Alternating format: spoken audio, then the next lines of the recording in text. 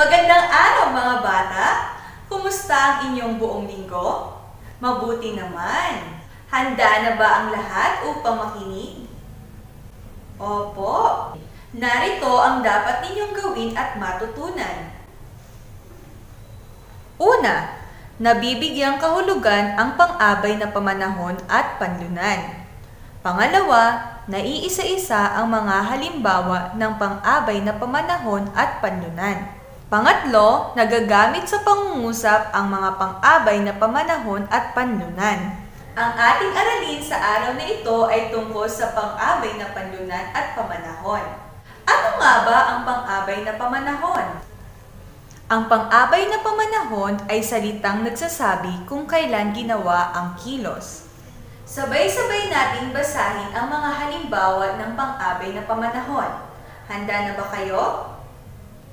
Mamaya, ngayon, bukas, kanina, sa linggo, sa isang taon. Ngayon, gamitin natin sa pangungusap ang mga pang-abay na pamanahon. Kakain kami mamaya.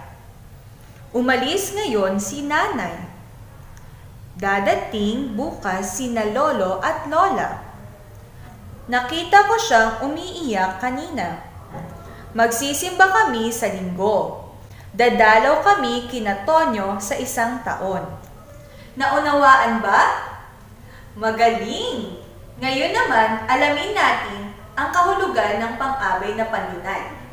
Ano nga ba ang pang-abay na panlunan? Ang pang-abay na panlunan ay salitang nagsasabi kung saan ginawa ang kilos.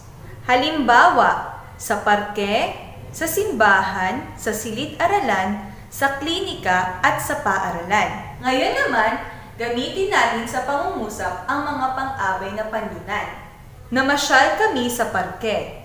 May mga tao sa simbahan. Naiwan ko ang aking gamit sa silid-aralan. Nagpagamot ako sa klinika. Papasok ako sa paaralan. Naintindihan ba? Magaling! Tignan natin kung talagang naunawaan ba ninyo ang pinag-aralan natin kanina. Meron tayong gawain. Dito, tutukuyin ang pang-abay na ginamit sa pangungusap. Sabihin kung ito ay pang-abay na pamanahon o panlunan. Magmemeryenda kami mamayang hapon. Ano ang pang-abay sa pangungusap? Tama, mamayang hapon. Ang mamayang hapon ay pang-abay na pamanahon. Magaling mga bata. Pangalawang pangungusap. Maraming gulay at isda sa palengke. Ano ang pang-abay na ginamit sa pangungusap? Tama, palengke. Anong uri naman ng pang-abay ang palengke? Mahusay, ito ay pang-abay na panlunan. Pangatlong pangungusap. Tanghaling tapat na, wala pa rin si Bino. Ano naman ang pang-abay sa pangungusap? Tama, tanghali. Ang tanghali ay pang-abay na manahon. Mahusay mga bata. Ang pang-abay na pamanahon ay tumutukoy sa panahon, oras na pagsagawa ng kilos.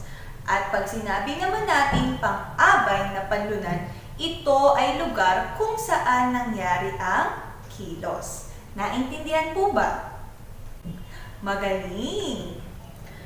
Ang pagpapahalaga sa oras at lugar ay nangangahulugan ding pagiging isang produktibong mamamayan. Dahil dyan, tapos na tayo. Huwag din yung kakalimutan sagutan ng inyong mga gawain. Paalam!